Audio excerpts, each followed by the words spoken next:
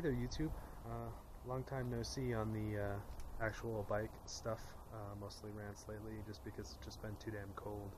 Uh, it's a wonderful 35 degrees out here, so I figured I'd brave the garage and the outdoors a little bit to show you something I'm working on. Um, so, you know, if you watch my video about the problems I had with e-bikes, a lot of the issues had to do with uh, bicycle tires and how flimsy they are and how I couldn't find one that was tough enough to fit in a 26 inch or 24 or 7 even 700c wheel and decided that going to motorcycle tires was the only way to continue to ride here in this area which was absolutely full of goat heads so spent uh, you know a good three years uh, looking for the right frame that fit uh, an adult rider and also had 20 inch wheels and realized that was uh, quite difficult. So uh, in my research I found that there's uh, a lot of semi-recumbent bicycles that take a 20-inch rear wheel, uh, and I stumbled upon one that had full suspension. I got super excited, uh, but it had been discontinued, so the only way to get one is to go onto eBay and you know hope that somebody has one for sale. So I found somebody that has one for sale, and here it is. So this is a Cannondale Easy Rider, also known as a Cannondale Bent. It was produced in the early to mid 2000s. Um, and uh, and I find it to be quite a charming, amazing little bike. Um, one thing that I sort of had reservations about was, you know, I had never ridden a bike like this before in my whole life, and I was concerned that it would be uh, not all that stable when you're, um, you know, when you're riding at a high speeds like I need to do here in Utah. Uh, it turns out that this is actually a very stable bike. Uh, when it's not stable, uh, it's usually from 0 to 5 miles per hour because you cannot use your upper body strength to sort of uh, shift the weight of the bike. Uh, but once you get it past, past about 5 miles per hour or so, um, it's pretty much like riding another uh, upright bike, although it is uh, it does take a little bit getting used to the steering it and uh, feeling a little more steady.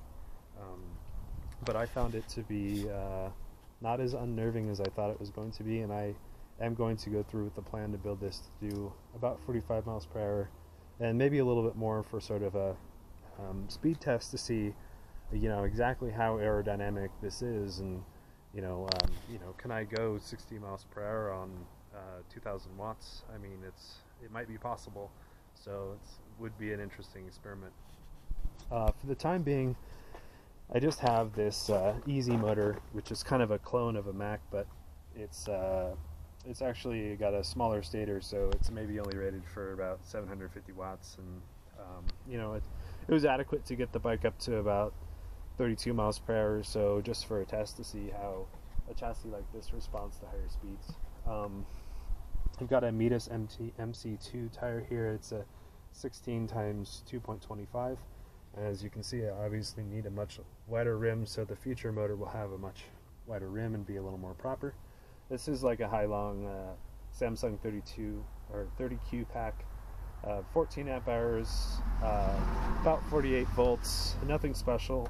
Unfortunately, um, I cannot manage to max out this motor with this battery pack. This battery pack is a huge limit factor for, for this, so I haven't tried uh, faster speeds and phase advance and things like that. Um, I've got a Fox shock over here, and then the standard Cannon Headshok over there. And I got a little hookworm. they actually make that in clown bicycle size.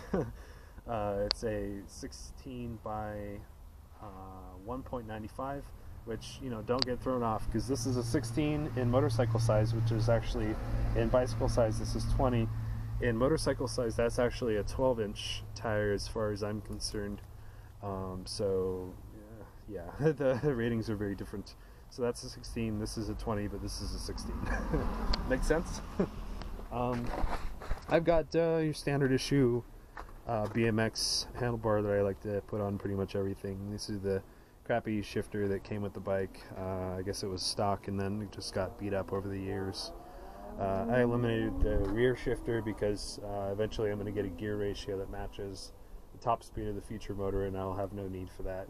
The gears will fully cover the range of speeds I'm going to be traveling at. Um, and other than that, you know, it's pretty much like uh, any other build, you know, standard uh, cycle analyst I've had for the last five years, you know, a little damage and whatnot. And I got a cheap mirror so that I could, instead of sort of tilting my head over you know, backwards to see what's going on behind me, I can see it instantly. And you can tell that's a pretty strong unit because it's being used to hold the bike up. So uh, go $15 Amazon mirror, right?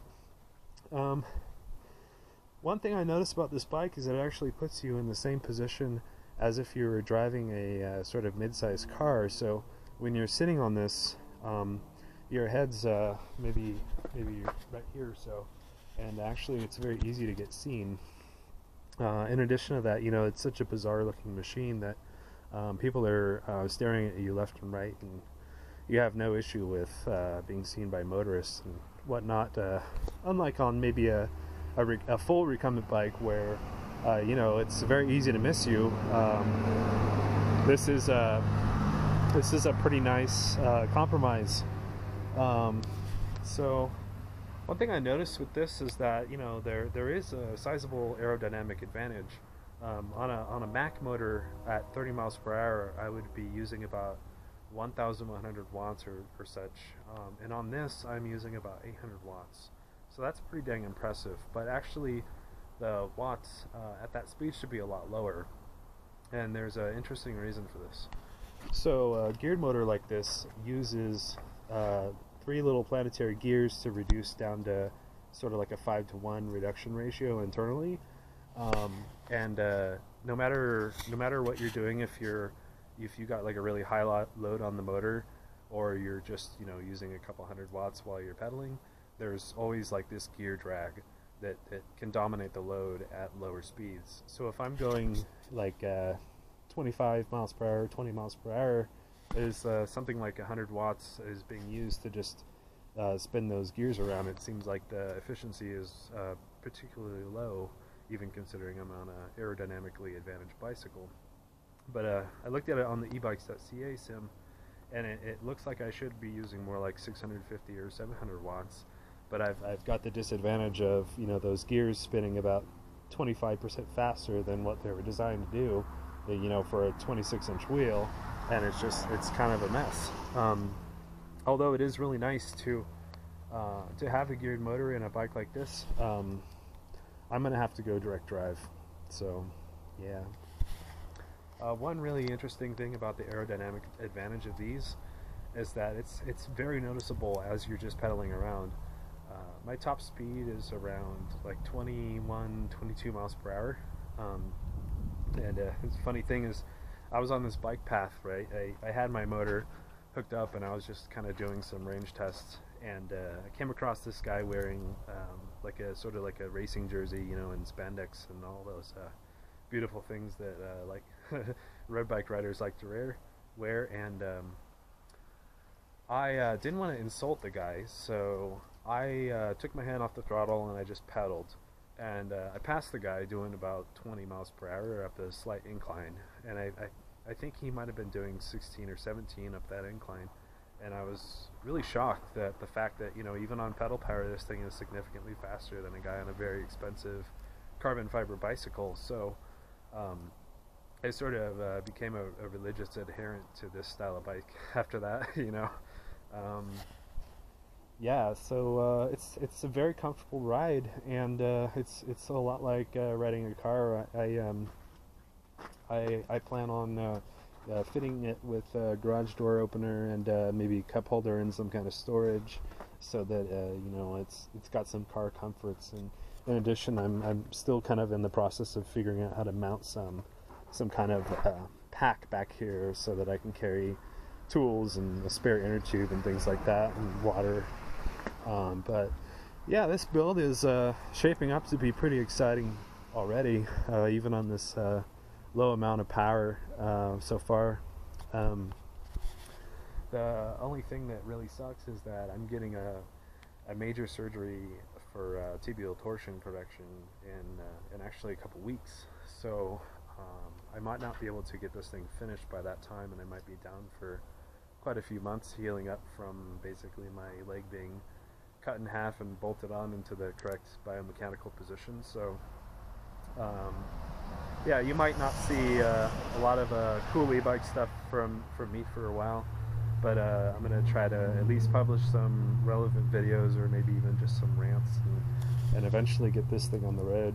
Um, uh, one one really neat thing about this is that uh, if you've had uh, leg surgery or something like that, the uh, you know you can at least like your hips are, are kind of offloaded and your back's offloaded, so whatever uh, cranky pains you're going through, uh, you know, from from about here to to end up, are not such an issue. So this is a really good bike to recover from a surgery on, since you don't really have to balance yourself so much. So, um, you know, one thing uh, when I was looking for information on semi-recumbents online, uh, I came across a lot of road bikers like dogging on this thing, and uh, a lot of people talking about how dorky um, this style of bicycle is. And I, you know, when I look at a bike like this, I just really don't see that.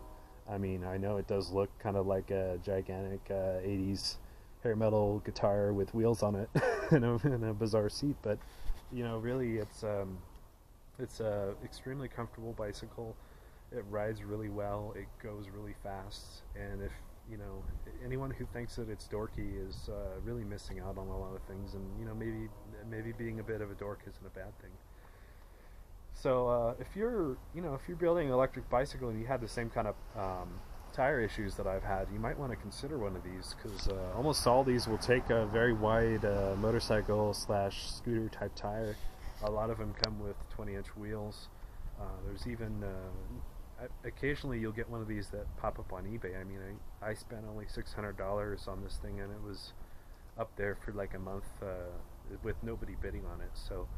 Um, if you can't find one of these, there's always the Maxaria Ray 2, uh, which costs about maybe thousand dollars, brand new, and it has uh, it has like the kind of beefy rear suspension, but it doesn't have front suspension. But um, in my experience, the what goes on with the front wheel is not all that important because uh, you've got so much of your weight on the back wheel and the front wheel. You know, stick a chromoly fork on it and forget it. I mean, it's it's not a big concern. Um, you could easily build, you know, really fast, uh, long range machine with uh, with this kind of aerodynamic advantage. Um, so, yeah, you know, that's that's it for now, and um, I'm gonna go under the knife in a couple weeks, and you know, maybe I'll be silent, maybe I'll put some rants up, and and uh, I'll be working on some uh, e-bike related uh, media outlet uh, probably in that time that I'll reveal a little bit more about later. Um, so uh, you know, hopefully uh, can get some some riding in around this time of year if uh, Earth decides to bless you with a sunny day that's maybe over 35 degrees or so. All right, man. Well, hey, you guys have a good one, and uh, I will chat with you later.